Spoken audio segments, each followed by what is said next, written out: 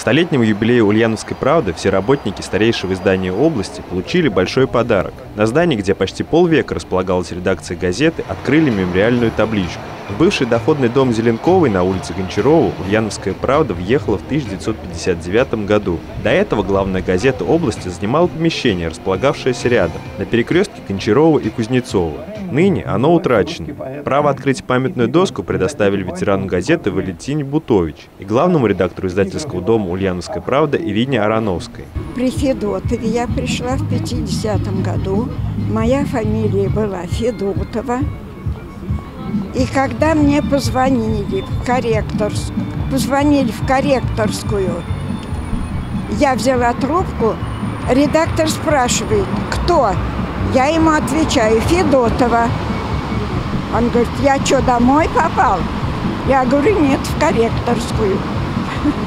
Вот так мы познакомились с Петром Ивановичем Федотовым.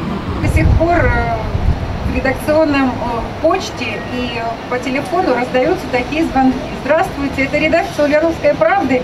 Нам куда приходить? На Гончарова 12?